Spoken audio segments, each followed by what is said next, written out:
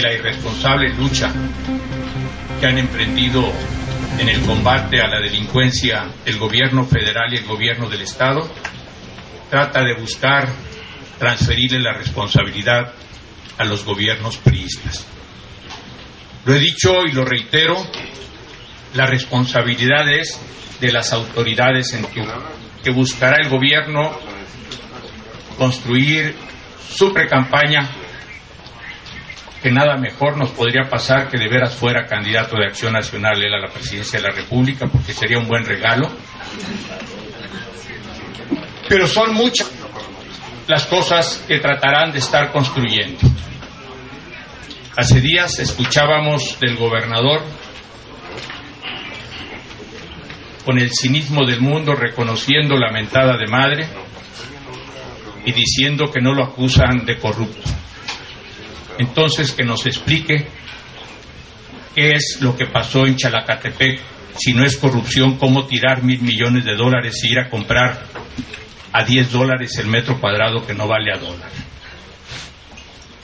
Que nos explique el gobernador cómo un atirantado que se presupuesta en menos de 500 millones de pesos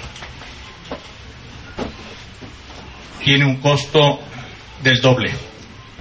Nosotros no acusamos corrupción, pedimos que transparenten, pedimos que transparenten los gastos que se hacen del recurso público, expliquen primero, si se creen muy honestos, que le expliquen a la sociedad, antes de pedir créditos, en qué van a gastar el presupuesto del 2011 el gobierno del Estado antes de pedir un crédito para hacer obras.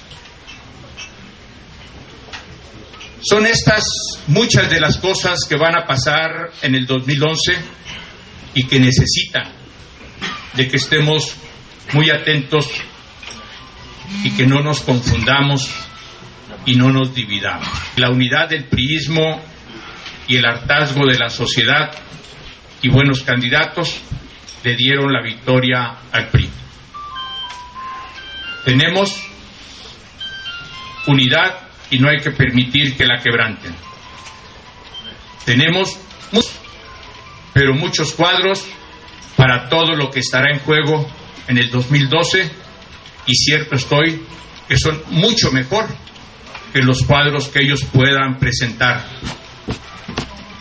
Y tenemos mucho, mucho tiempo para construir la victoria de cara al 2012.